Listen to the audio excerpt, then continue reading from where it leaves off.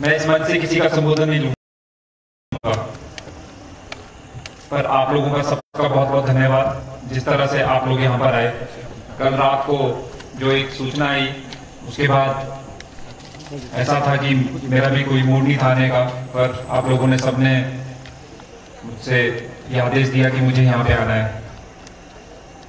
मेरी ticket cut गई। हमारी है। है। क्यों कटी मुझे नहीं पता। मेरे को बताया गया, टिकट इसलिए कटी क्योंकि आप परिवारवाद के वंशज है, उपज है। बहुत दुख हुआ रात भर सो नहीं पाया। पंद्रह दिन नहीं हुए थे पिताजी हो जाते क्यों निकाला मेरे को बाहर? मैंने तो नहीं बोला था कि मेरे को जुबलकोट कैसे चुनाव लड़ना है। तब क्यों नहीं तय किया कोई पैमाना की परिवारवाद से कोई नहीं लड़ेगा? पंद्रह साल तक मैं लगातार संगठन के लिए काम करते रहे। तेईस वर्ष का प्रवास किया। हिमाचल प्रदेश में कोई भी ऐसी सीट नहीं, अड़सठ सीटों में जहाँ पे मैं नहीं गया, कोई ऐसा जिला नहीं जहाँ पे मैं नहीं गया। मैंने संगठन को हमेशा मज़बूत किया। और बाहर में बोला गया, तुम परिवारवाद के उपज हो। सत्ताईस हज़ार वोट। स्वर्गीय निंद्र बराटा जी को इनसे पढ़ते हैं। आप लोग सब परिवार हैं उनका। क्या आप लोग भी परिवारवाद के बच्चे से क्या? मेरे को नहीं समझ आया क्या पैमाना डबल स्टैंडर्ड्स क्यों? मैंने आज बात करी, सबसे बात करी, शीर्ष नेतृत्व से बात करी। ठीक है? अग्रीड आपने एक फॉर्मूला बनाया है। मैं तो भारतीय जनता पार्टी का कार्यकर्ता हूँ। अपनी गर्दन नीचे करके मैं आपकी सारी बातें मानूँगा। परंतु टिकट का चयन कैसे होता है? मुझे पता है, सर्वे होते अलग अलग जो हमारे परिवार के जो जो संगठन है, वो वो फीडबैक्स देते हैं। जो व्यक्ति इस मंडल में पंद्रह साल तक नहीं रहा, जो हमेशा कटाक्ष करते रहा, जो हमेशा ऐसे ही तैसे करता रहा भारतीय जनता पार्टी जुब्बन नवारकोट का की। और जो कांग्रेस के साथ बैठकर हमारे संगठन को कमज़ोर करते रहा, उसको टिकट क्यों? क्या हमारे पास काबल लोग नहीं थे क्या? छह छह हमारे पूर्व मंडल अध्यक्ष। यहाँ हमारा शीर्ष नेतृत्व बैठा है, जो बनावर को। उठाएगा इनसे चुन लेते मैं चलता आपके साथ, कंधे से कंधा के जितना नाटक आपके साथ चलता क्या बेमान टिकट देने का सिर्फ़ किसी नेता के चहेते को टिकट देंगे आप? कोई मेरिट नहीं? चुनाव हारे हुए चौथे नंबर पे मेरे को मेरे को ये नहीं पता सिक्योरिटी बची थी कि नहीं बची थी। मैं कोई अब पीड़ा नहीं दे रहा। संगठन मेरे को जो भी दायित्व देगा, मैं उसको निर्वाह करूँगा और आगे चलते रहेंगे आपके आशीर्वाद से। पर इस तरह की जो अनहोनी हुई है। मैं जैसे पहले बोला, मेरे को, मैंने, मेरे को कोई शौक नहीं था चुनाव लड़ने का। आप लोगों ने मुझे आदेश दिए। आप लोगों ने मेरे को बोला कि आगे आना पड़ता है। मेरे शीर्ष नेतृत्व में भारतीय जनता पार्टी में चल प्रदेश ने बोला। हरिद्वार जाने के बाद वापस आया। आदेश आया पार्टी से कि अब आपको फ़ील्ड में जाना है। ऐसी बेइंसाफी मेरे साथ ही क्यों पहले बोल देते, कम से कम रिस्पेक्टफुल एग्जिट तो देते मेरे को। उस विभिन्न नेता के बारे में सोचते जो स्वर्ग में है। जिस व्यक्ति ने अपनी जान इस पार्टी के दे दी, सोलन के चुनाव में उनको अगर आदेश नहीं दिया होता, ना उनको कोरोना होता, ना आज स्थिति पैदा होती। आज हमारे बीच में होते। ना ये उपचुनाव होता क्यों इसका उत्तर तो देना पड़ेगा बिल्कुल देना पड़ेगा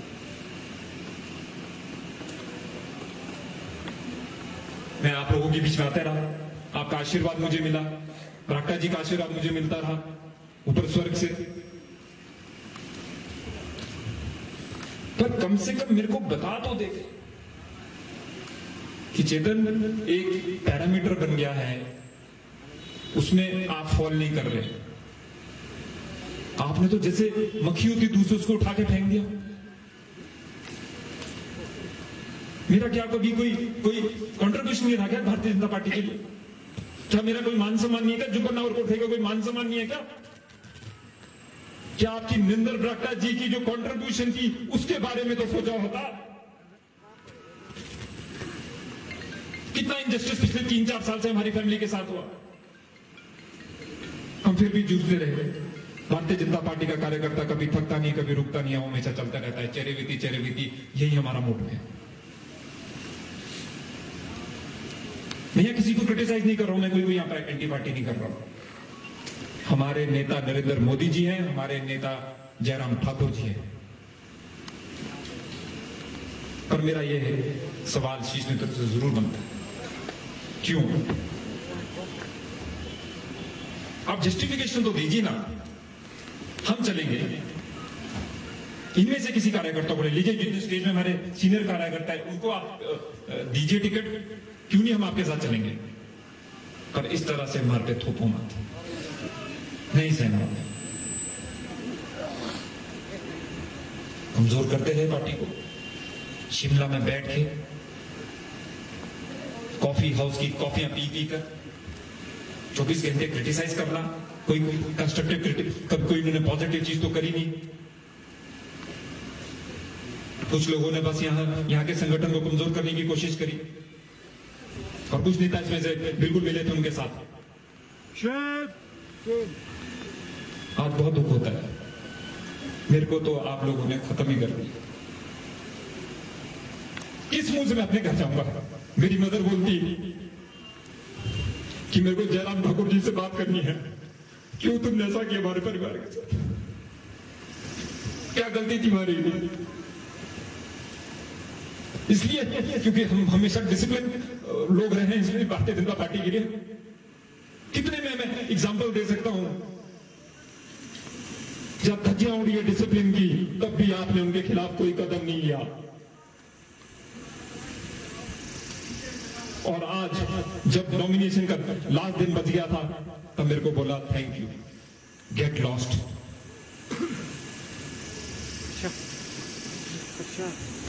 मुख्यमंत्री जी, मैं बहुत आदर सम्मान करता हूँ आपका। पर ये रीजन तो आपको देना पड़ेगा। ठीक है, आप चितन राठौर को साइड रखिए, कोई प्रॉब्लम नहीं। पर हमारे किसी कर्मठ कार्यकर्ता को टिकट दीजिए। टिकट बदलनी पड़ेगी। हम नहीं सहेंगे। बिल्कुल नहीं सहेंगे। टिकट तो होगी होगी। बननी होगी। मैं कोई राजनीतिक यहाँ पे भाषण नहीं देना चाहता छह महीने बोला जाता है हमारी पार्टी समाज में क्या बाहर नहीं निकलते पंद्रह दिन मेरे को बाहर निकालना कोशिश करी मैंने आप लोगों के साथ आपके पास पहुँचने की आपको आशीर्वाद देने की। बरागटा जी भी यही चाहते हैं।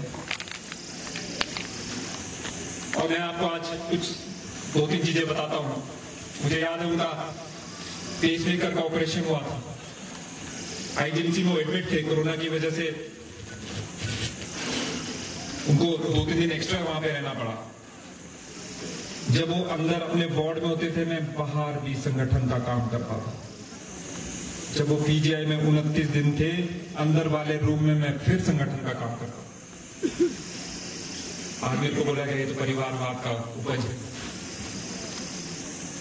कहीं भी तो कुछ तो हमारे को बताओ, क्या गलती हमारे से हुई?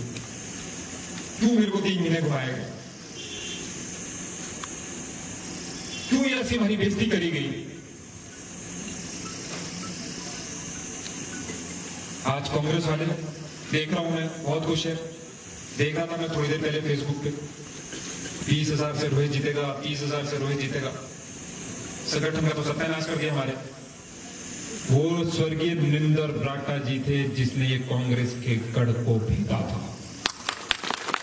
1970 जब जनता पार्टी की वेव चली थी, उस वक्त भी रोडू और रामपुर, मैं आपको आज तथ्य बता रहा हूँ, रोडू और रामपुर जनता पार्टी के पक्ष में गए थे पर यहाँ से ठाकुर रामलाली जी। थे 2007 में हमने आपके आशीर्वाद से, आपके कार्यकर्ताओं की मेहनत से हमने इस गढ़ को तोड़ा और फिर 2017 में फिर तोड़ा था।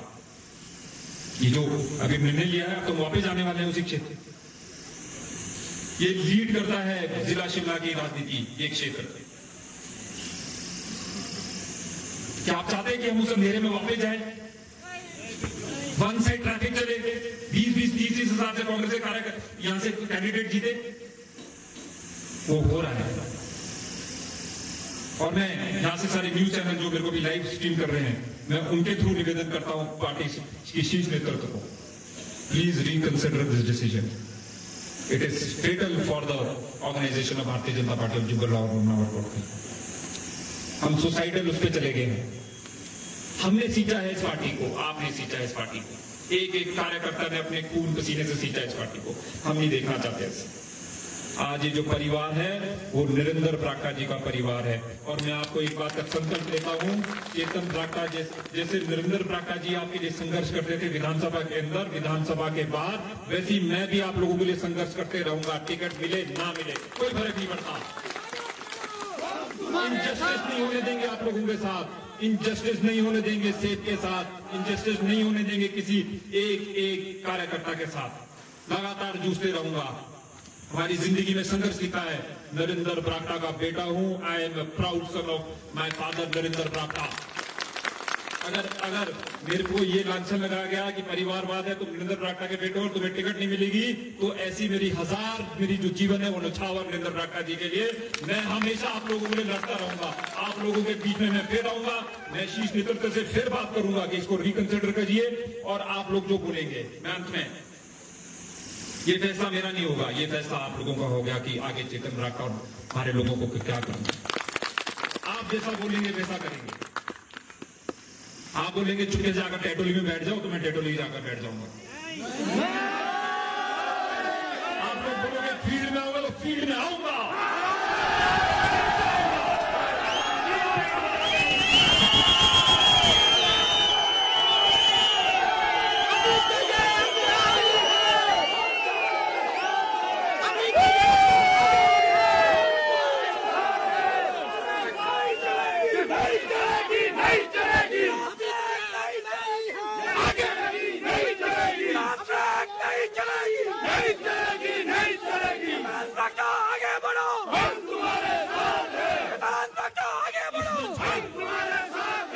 इस मंच पे शीर्ष नेतृत्व बैठा है भारतीय जनता पार्टी सब बैठे हैं तय करिए चेतन राका ने क्या करना है कल।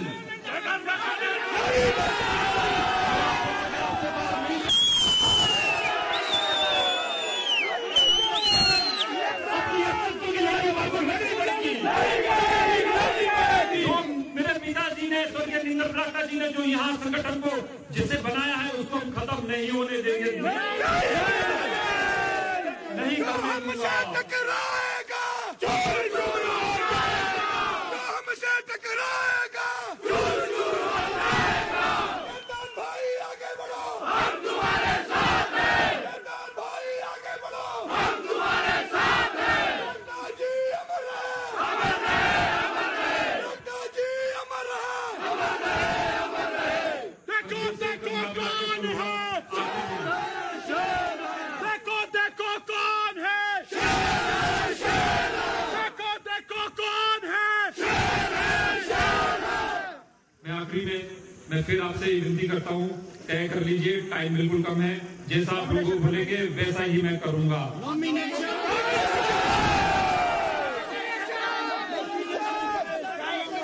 मान सम्मान की लड़ाई।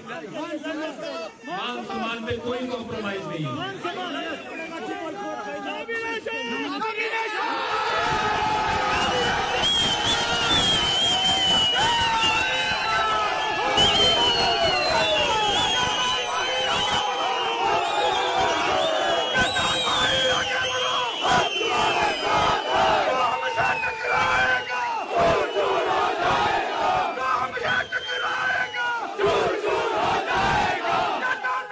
जिंदाबाद जिंदाबाद जिंदाबाद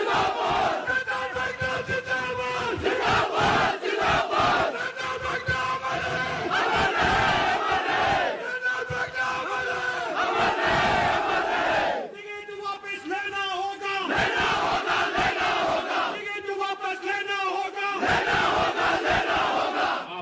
बहुत धन्यवाद अ, मैं अभी थोड़ी देर जितने भी लीडरशिप है इस मंडल के साथ बैठूँगा। जल्दी हम आपको अपना निर्णय बताएँगे कि आप आगे कैसे जाना चाहते हैं। बहुत बहुत धन्यवाद फिर आप लोगों के बीच में रहूँगा, संघर्ष करते रहूँगा, सेब के लिए अपनी जान दे दूँगा। जैसे राक्टा जी ने दी थी। उस सेब के लिए कोई नहीं टिकट पर पुनर्विचार करना होगा करना होगा करना होगा टिकट पर पुनर्विचार करना होगा करना होगा करना होगा कार्यकर्ताओं का सम्मान करना होगा करना होगा करना होगा कार्यकर्ताओं का सम्मान करना होगा करना होगा करना होगा चंचल बेटा आगे बढ़ो हम तुम्हारे साथ हैं चंचल बेटा आगे बढ़ो हम तुम्हारे साथ हैं सभी कार्यकर्ता का बहुत बहुत धन्यवाद। जैसे कि हमारे नेता चेतन भाई ने आप सबको रुकने के लिए कहा है कि सिर्फ़ 15 मिनट आप सब कार्यकर्ता रुकेंगे और ज़्यादा से ज़्यादा आधा घंटे के अंदर हम किसी निर्णय में पहुँच जाएँगे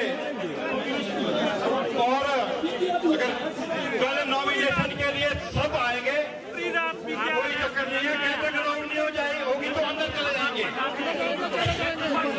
काका जी अगर राउंड नहीं होगी तो कोई बात नहीं है हम जेल में जाने के लिए भी तैयार हैं। हम अंदर चले जाएँगे तो चेतन बरागटा ने यहाँ से अ, कह दिया है कि जो आप लोग कहेंगे जो जनता कहेगी वो वो करेंगे। और अब इसके बाद क्या होता है? क्या वो यहाँ पे नॉमिनेशन करेंगे या भारतीय जनता पार्टी अपना टिकट वहाँ पे बदलेगा? हैं, देखते रहेंगे आप देख सकते हैं हैं, कितना यहाँ पर समर्थन है उनको और अब आप लाइव ये देख रहे हैं बरागटा जी से बात करेंगे देखते रहे लाइव जर्नलिस्ट विक्रांत बदन और मुकुलदेव लक्ष्मण जी को उठाई गुम्मा से